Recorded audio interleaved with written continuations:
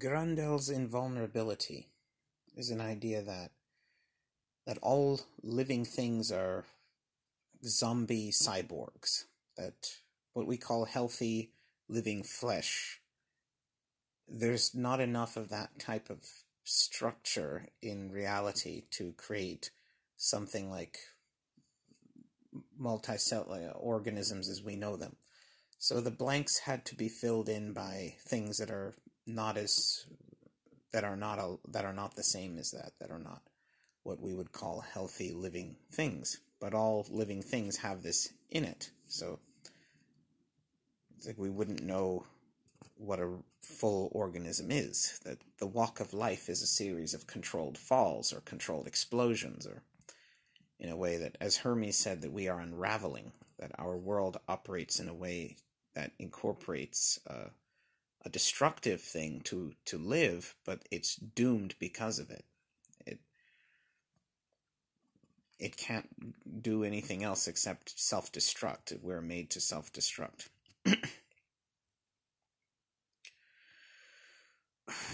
that uh, death is this powerful part of what we are. We're made to be destroyed. And so a lot of the things in us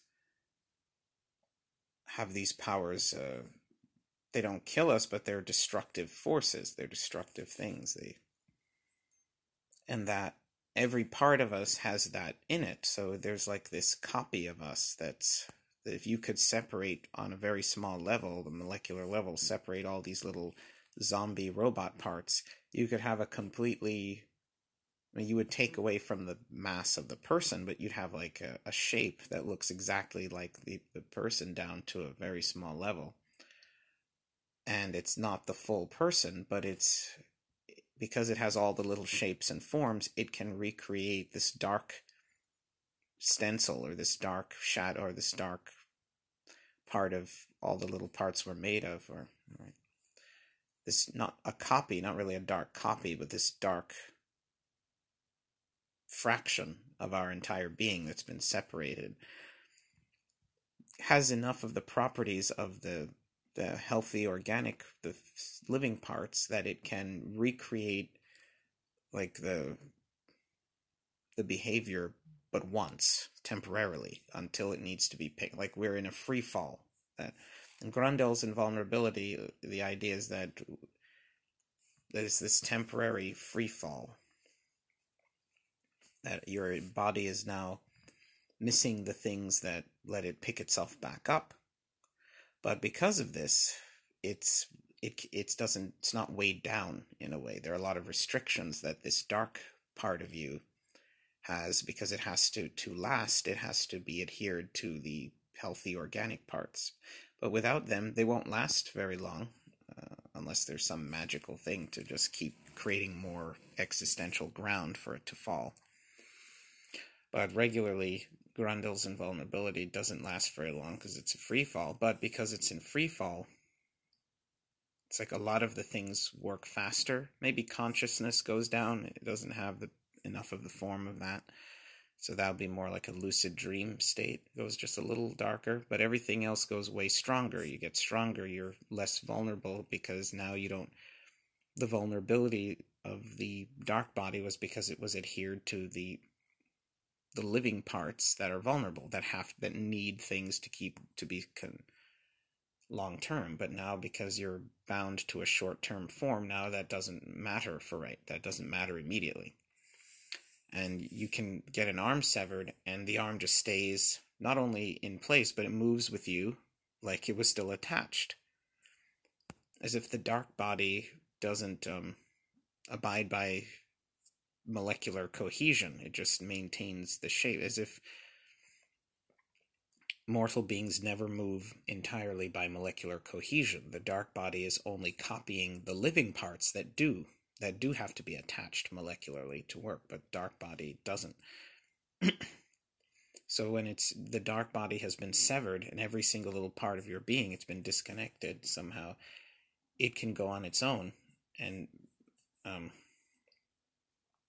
when you sever an arm, it just kind of gets cut, but then that doesn't affect it because the dark body doesn't need molecular cohesion. It um, it gets it, it maintains your shape some other way. So just kind of uh, you go on like you weren't cut, you know, like your arm wasn't cut off. It just kind of, I guess, floats there, but very close, so it'd be hard to tell that it was cut off, but it was cut off. And that idea that it was there at the beginning, so now it's possible. Let's say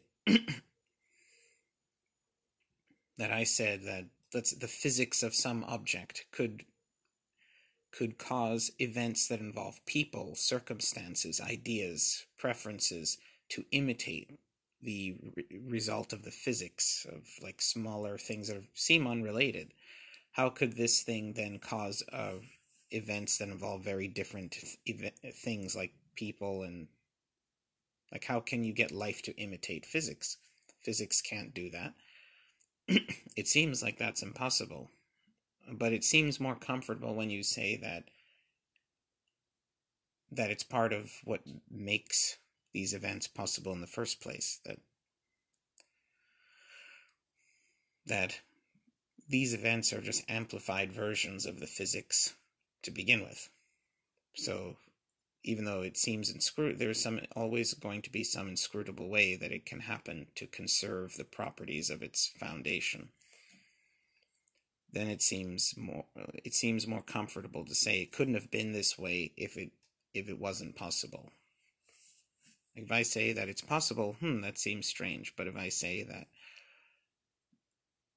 that this thing happened by this happening, well now it feels like well if it was there at the beginning when it was made then there's always the quality of it being able to sneak um, find some life will find a way like, that there is some natural overlooked way that this unlikely physical thing can take place because it already has. If it has at the be- if it did it once it can do it again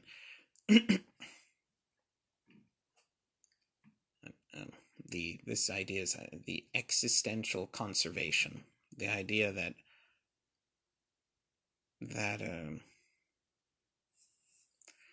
that the physical properties of things can have strange, unlikely supernatural effects on the world that conserve the qualities of an unnatural ability to conserve properties of physical properties of materials in things like events or people or things you wouldn't think that they could affect to make like them or like them.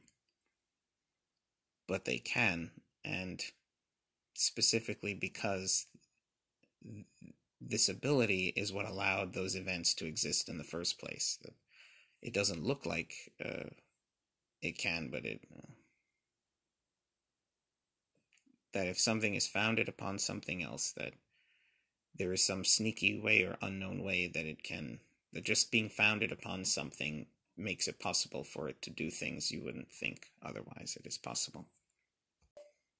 Dionysus uh, was known for the, the rebirth, the idea that uh, that by dying, uh, being born twice. Athena was the first one to do it, I think, and then Dionysus, the last that I know of, of the gods. And the idea is that you die once when you're a baby or very young, and that makes you close to death in some special way. So, in a way, I think Dionysus is more known for it, how grapes turn to wine.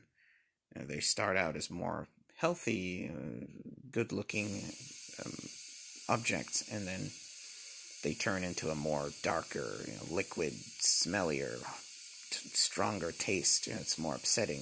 It's more like a death. But this will not go bad as quickly. It's now resistant to death. It's like this entropy effect. So you've been changed into a form where now it takes more to damage you further.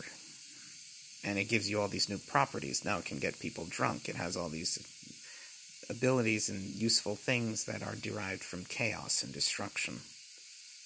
Similarly, the Dark Rebirth is like that, where by, and that's why I mentioned Grundel's invulnerability, where now all these things can start happening derived from the falls of life, derived from the kind of the things that do help life, but they're derived from bad things in nature, the destructive parts of nature.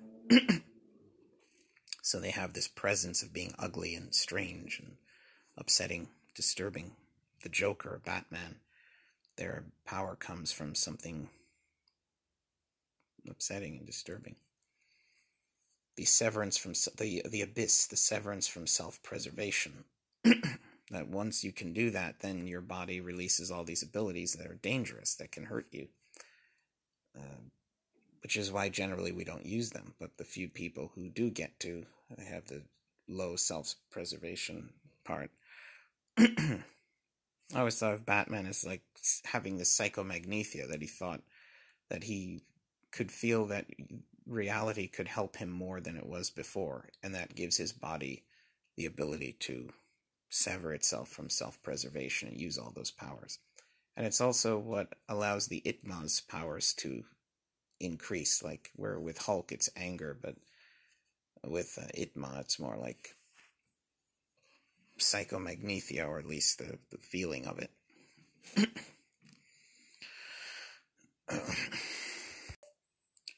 um, the idea that, like, when you're close to death, typically you feel more pain because painful things are occur to force you away from things that will kill you. So when you're around things that are deadly that cause death, you, there's often pain and fear. and it is and part of the psychological part of that that it changes your body and mind to be more like uh, destructive things that have destructive powers that because you felt something so strong that now other things that would typically stop you now don't stop you anymore. They get overshadowed. You don't feel them much anymore. The abyss. Now you don't care. You don't have to care anymore. Um, which uh, can be helpful in some ways, destructive in others. So it's like generally people care about things because doing so forces you to live um, or at least being afraid of things, I think we generally live out of fear. I find it strange that people go on about meaning. And I always wondered, what is meaning? Why do people keep talking about meaning? What is that? They don't give you any straight answer, because really it's a fictional idea that really no one cares about. It. People go on about it just because authority, because the church is saying it, really. So people don't. But really, people don't care about meaning. They just want the kind of life that their ancestors had or some specific kind of state of life and that's it and they're afraid to die they're afraid of this you would just live your life in avoidance of things running that's really it and it's always inevitable it's going to happen but that doesn't mean we can bring ourselves to face it. So i always wondered that if i throughout my life i've wondered if i could just kill myself then that would guarantee that i have the mental strength to endure death as opposed to letting it come get me. Then like if i don't do this now myself then i won't have like if i can kill myself i will have proved uh i will have proved to myself that i've built up the courage to face death with honor die a good death but if i sit here and try to avoid it as long as possible that shows weakness to death it shows the inability to confront it and that when it comes for me, it will be worse. I don't know if that's true, but it's an idea that I've had throughout my life. The dark rebirth, Athena and Dionysus. Um, also, the idea of loss, you know, this idea of um, when you see people who are strong, they're always like Wolverine, like they've gone through some horrible thing. Uh, like it seems to suggest that being closer to death is necessary for the greatest powers in, in life. um, uh, and uh, that when I notice it is loss, then, and Phobos is the god of loss and fear. He uh, loss has a lot to do with this when we feel that there is a natural force that is helping us also, humor has a lot to do with that. You know, when you feel that nature has given you this power to succeed at something, and all the parts are there, but or at least there's a lot of the things that do help you do that in nature, and then you handle the rest. That there's this, like, how do you learn something? How do you remember something? It's on the tip of my tongue. You know, something in me is doing something for me, and you need that that no one could really personally themselves handle everything in nature you need most of the stuff done for you it's so much like no one could put nature in a good form by like i choose to do this kind of mental behavior. It takes a you know just do it for me so like tip of my tongue remember kind of mental stuff to do anything even the simplest action just to you know turn move your hands. It's like such a i couldn't think oh i'm gonna do this and then move it this angle like it's not something i have to think much about. Like you need that. You we don't have enough mental power to, to do that comfortably uh, by choosing the way we think about speaking or other things. And when you have all that natural assistance, um, and it still doesn't work, I think that's where loss, that's where humor, humor, that that you were close but it wasn't enough you were you had the natural stuff and it wasn't enough and when that fails when that happens we want something more permanent we want something that we feel is more stable that well that if destruction if in the case of humor it seems that we overlook things we do things that generally you assume people don't want to, often based on what authority is telling you to do. So if everyone is going to obey, then disobedience was absurdity is often a thing people laugh at. But regardless, it's when people assume you're trying to do this, that that is the successful objective. And you have a lot of the natural help to do it, but not enough. And because of that, it it doesn't work but then it's because it's close it then the little thing changes uh, that little piece missing changes and it gets put there and then it works i think that's kind of where humor comes from. And loss is the idea that when you there's a certain amount of help there's a certain amount of successful power to do something where if you still fail then it feels bad. For you to have like I wasn't really trying. We need to be able to say that I wasn't trying because if you if everything you if a lot of your successful power went into something and it didn't work, then you have to feel bad that you don't have enough power. And in nature, we feel this.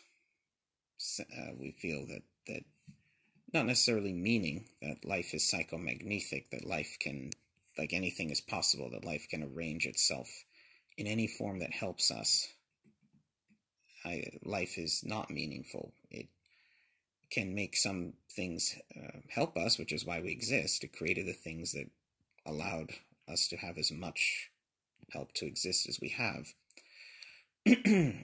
to have as good a life as we have. But it doesn't do that in a way where it could be consistent all the time and do, let alone do anything to help us, let alone do anything. Uh, regardless of that to be born into a tomb, to to feel that if not meaning that there is some kind of natural help to nature, but once again that there is that natural like it's a broken machine that there there is stuff here to help us but it's just not quite enough. Like it's missing something to make it work and it's it will never work. To have all that and it still not work it's then that people turn when they feel like their wings have been clipped when they were born with all the little things in them that do something great, and then it's just one something small missing that now it's permanently ruined. That's when people start to feel a loss that you know, it's too close to fail. It was too close to feel good about not having it. And it's part of why the abuser wants to maintain abuse. I have so much power to then give that up, to not be able to control this being, to um, for this being to upset me, to have any effect, even to walk through the street, to do anything, that it upsets them because you have such power, and to to be affected by someone, it demoral it. Uh, it takes away their feeling of being successful, able, potent, able to do things. so they want to make you unable to restore their feeling that they have control over whatever it is or whoever it is. And in life, when we feel that we've lost our natural being treasured by reality being helped in this way, we turn to something that is morbid and disturbing and destructive because we feel that that is what is the strongest. If if we can't, when you fail to do good, then rule in hell or something. That's the only thing left for you now. We value it because we feel like that's there are only two things. You can be a creator or a destroyer. Well, conveniently, if you're born with all the stuff that works and makes you a creator, well then, good on you. You will succeed at that long, constructive career, constructive life. But when it, you have that, all your success powers are for a creator, and it's not enough to work. So now there's not anything left to do something else. The only thing left is to try to get something good out of the emptiness, out of the the things that have no good in them. People, um, I think of that song by Tove Lo. What was it? Um, Shivering Gold. It's just the kind of, or a lot of the things, the themes. Uh, seems like kind of the darkness of the soul, the and specifically kind of imaginary friends stay with me to the end the kind of like reference childhood it's this idea like when you've lost something like that there's the, there's this want to reclaim being protected to reclaim that help to want something that once again like there's only one other alternative to the constructive nice pleasant bright things and that is that now evil can give you a state. You shed this husk, shed this person that that doesn't work, and become another nature, have a new nature, become another living, another type of being that nature does help. So now you're being helped again. You're being uh,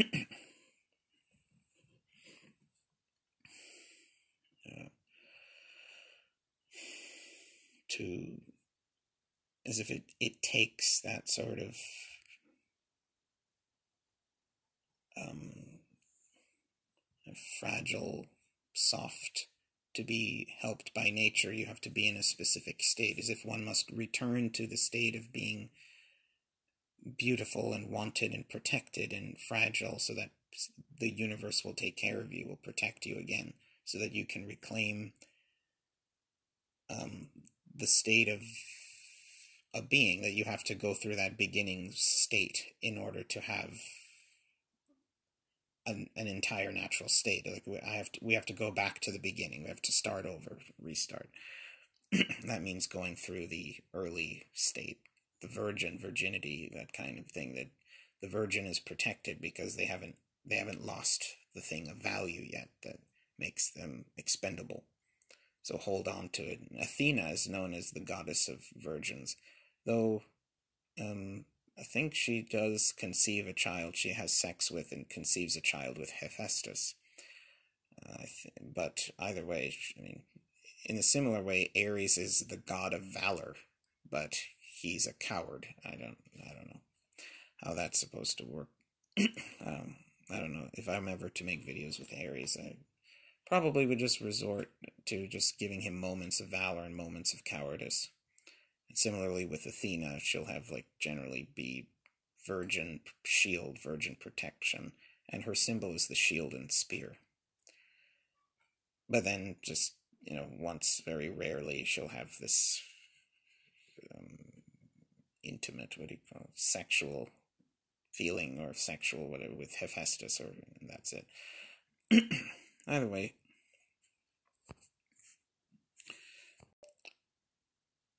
I guess the idea of the being forever virgin that one that it it it comes with that feeling like when you think of really psychotic crazy people you think of like the little chime playing the little ballerina box like something that's disturbing because we have this sense that when somebody is returning to the womb returning to the state of infancy when they have to return that means something really bad has happened.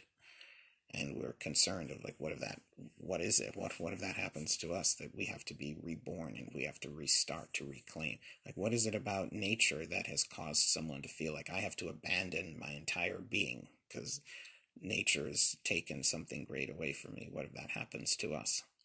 To shed my entire flesh a lot of my mind so i can have an entire new being that has its natural protection still intact. The the cosmic winds whip through the emptiness at the core of the being, and that wind whistles a dainty chime like a lullaby, a call back to the womb, a call to return back to the beginning and reclaim one's special protection so that and in that one can start over has the the one can get the only other beginning of a person so you can form that strength, that feeling of comfort with existence. So one can be happy again. You have to have that first part. And, uh, but the only other, like, it's like there are only two startups for a person. You have, like, the the good one and the bad one. Well, the good one's gone, so you have this one now. So you have to start with this kind of person. And then then you form the rest of you around that. And it can form a the bridge is complete, then you have all the stuff you need to have the kind of existence that you want. Something I wanted to say.